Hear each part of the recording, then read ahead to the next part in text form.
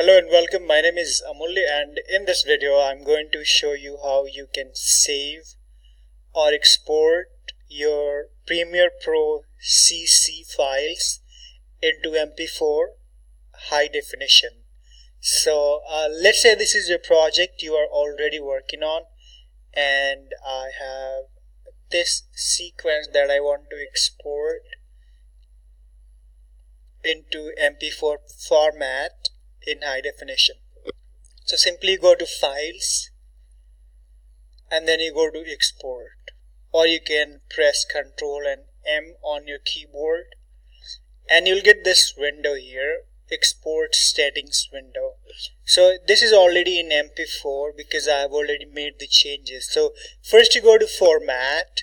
So if it's avi you change it to h.264 okay it, it by default it's AVI okay? So you change it to this one.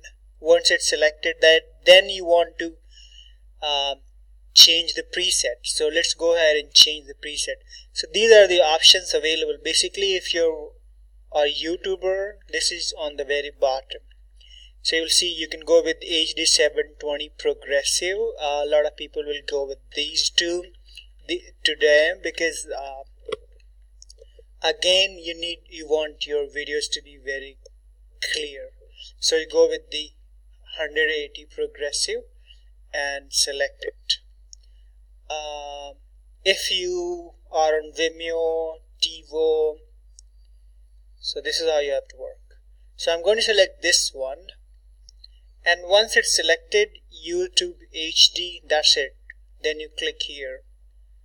A lot of people do these things as well but I think that's already fit for this YouTube uh, video. So I'm going to click export and this is going to take few moments. You can see this format has been changed to mp4 that's all you needed.